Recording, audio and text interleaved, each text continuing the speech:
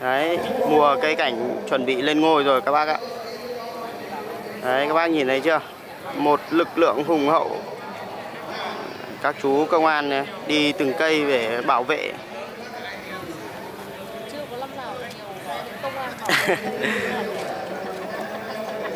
Ui rồi, à, mùa cây cảnh chuẩn bị lên ngôi rồi.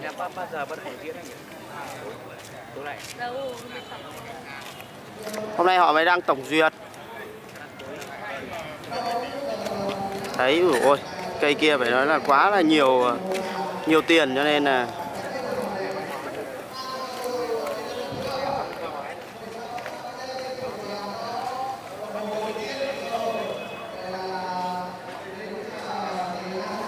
quá sốc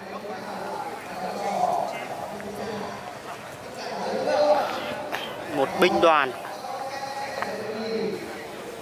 chưa một cuộc triển lãm nào mà có một cái lực lượng an ninh.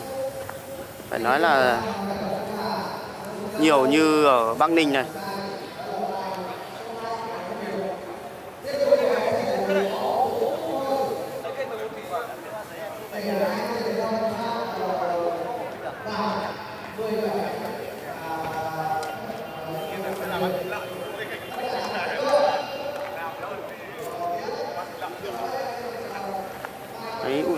thôi có mỗi cây hoa giấy kia mà các bác ngắm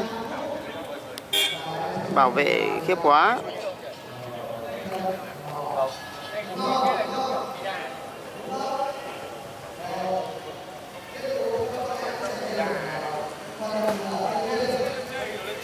Thank you.